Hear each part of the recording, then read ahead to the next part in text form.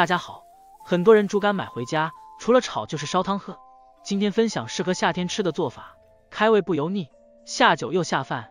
首先将猪肝切成厚厚的薄片，切好用清水冲洗掉猪肝里的残血，这样才能有效去除猪肝里的腥味。加姜葱，一勺料酒，抓匀腌制十分钟。不知不觉，我已经发了几百道家常菜教程，还没能得到你的小红心。这个视频你就给我点个免费的小红心吧，辛苦你了。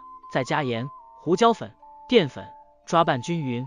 锅中水开，加葱姜、料酒去腥，转小火倒入猪肝，煮至断生后捞出，加入蒜末、小米辣、辣椒面、花椒粒，再浇上热油，激发出香味。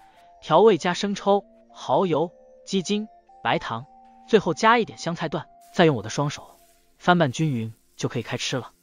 这样做的猪肝鲜香麻辣，特别开胃好吃，喜欢你也试试吧。